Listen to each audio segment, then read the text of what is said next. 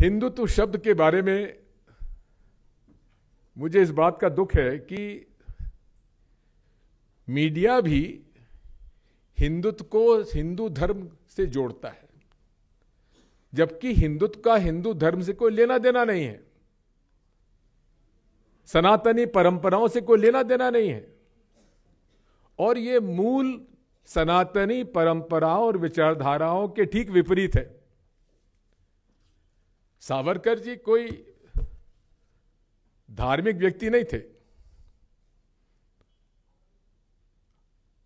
उन्होंने तो यहाँ तक कहा था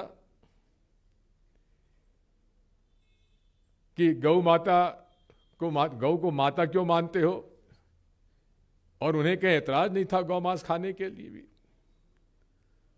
तो सावरकर जी को, जिन्होंने कि हिंदुत्व को, हिंदू आइडेंटिटी को इस्टेब्लिश करने के लिए उन्होंने हिंदुत्व का शब्द विलाए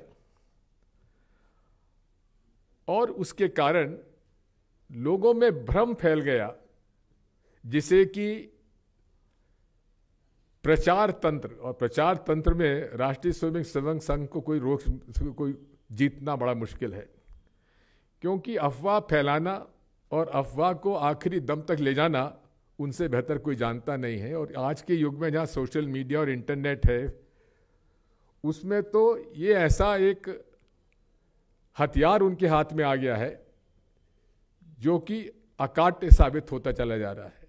अयोध्या की फैजाबाद की अदालत में भूमि का विवाद था। लेकिन विश्व हिंदू परिषद और बजरंग दल और आरएसएस ने कभी इसको मुद्दा नहीं बनाया था। और जब उनका उन्नीस सौ चौरासी में दो सीटों पर आकर वे सिमट गए तो उन्होंने इसे राष्ट्रीय स्तर पर मुद्दा बनाने का निर्णय किया, क्योंकि अटल बिहारी वाजपेयी जी का गांधीयन सोशलिज्म 1984 में फेल हो गया था।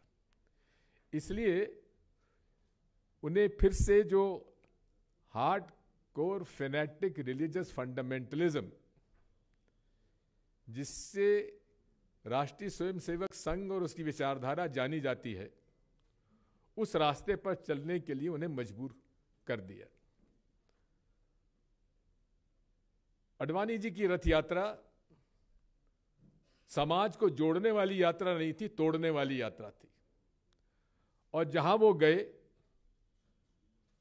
उन्होंने नफरत का बीज बोते चले गए।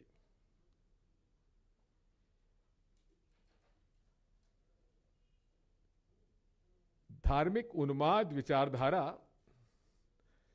का जीन जब तक बोतल में बंद रहता है, तब तक शांति रहती है। जिस दिन निकल जाता है, उस जिन को वापस बोतल में डालना असंभव है। और ये जिन अडवाणी जी की यात्रा से न केवल निकला लेकिन उसने पूरे देश में एक माहौल सांप्रदायिक उन्माद का फैलाकर हमारे सामने प्रस्तुत किया